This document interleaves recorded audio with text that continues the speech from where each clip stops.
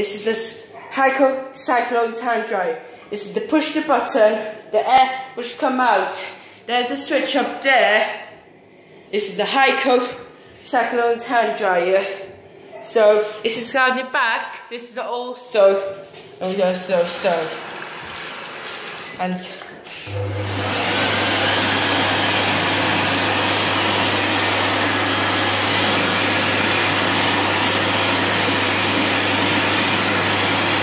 to push the button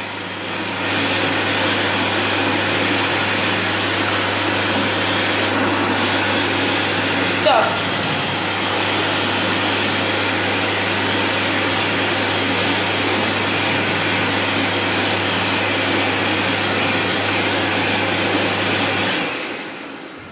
That was good. We don't have to worry about paper towels anymore. That's it